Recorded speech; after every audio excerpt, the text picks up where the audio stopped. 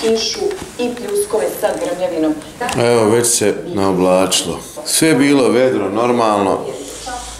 Ima odmah da nam omrkne. Ne! Ne! Ne!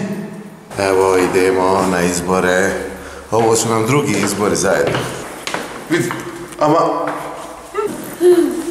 Biračko mjesto nam je odmah preko puta. Evo ovo, škola.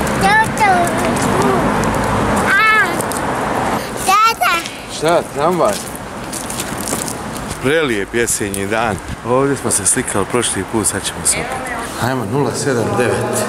Drugi put sa ocem i majkom na glasanje. Prošli put smo glasali za majku, a ovaj put za oca.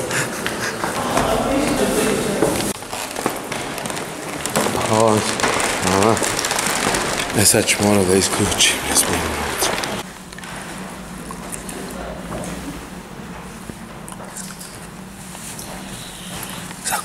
jer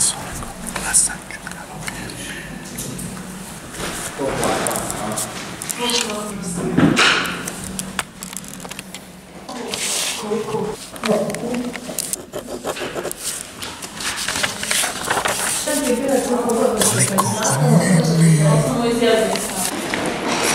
Za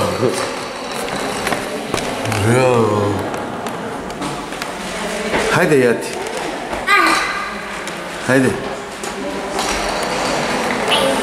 Ace. Ay. Ay. Doğru.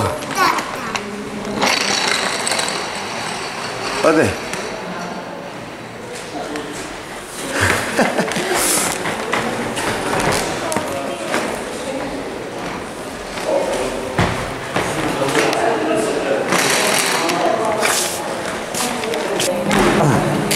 Ode. Eto, glasali smo. On nije, on se igrao autića. Toto! Toto je trolejbus, ili autobus, ili tramvaj, sve to je Toto. Di je Toto je dupli trolejbus. Vito.